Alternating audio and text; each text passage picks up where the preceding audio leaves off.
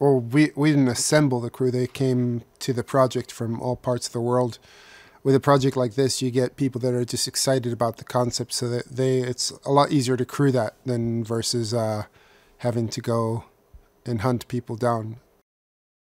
Stephanie, um, well, we had a, our, a choice of many costume designers, and uh, when she presented her first initial lookbook, we uh, we fell in love with this sort of her take on on the world. She was very true to the source material as well. Well, the production uh, side's fairly easy. Uh, these studios offer all you need to do to make a production of the site.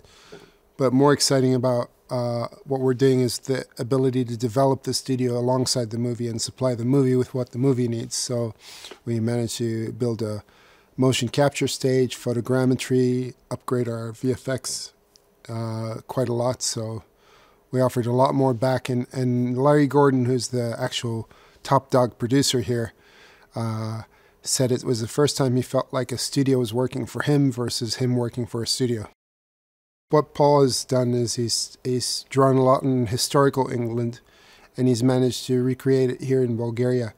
It's uh, it's interesting because we were able to film ancient England a lot better here in Bulgaria due to the fact that there's not many power lines and buildings